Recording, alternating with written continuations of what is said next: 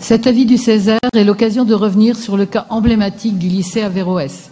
Pour rappel, chaque année depuis 2016, notre groupe vous a interpellé sur l'interrogation qui était les nôtres, pas seulement les nôtres d'ailleurs. En mai 2016, avec un vœu, protéger la France de l'islam radical, refusé. Lors de la défense de ce vote, nous étions revenus sur votre visite avec M. Darmanin, Lebas et Le Cerf dans ce lycée le 8 janvier 2016, soit le lendemain des attentats de Charlie Hebdo. Vous, vous, étiez alors entretenu avec M. Lasfar, le président de ce lycée. M. Lasfar qui défend le voile islamiste et la charia, signe d'une volonté de communautarisme. Octobre 2017, nous étions intervenus sur le versement de la dotation à ce lycée. Madame Martin nous avait répondu Il n'appartient pas à la région de juger la qualité des enseignements de, de cet établissement.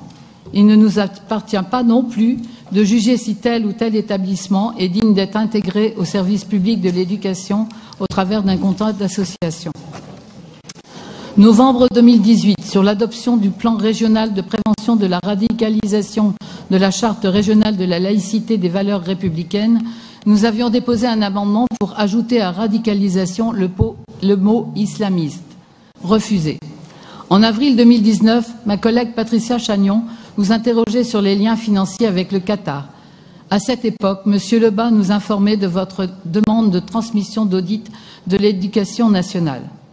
Il aura donc fallu plus de trois ans pour que vous ouvriez les yeux sur les dangers de l'islam politique.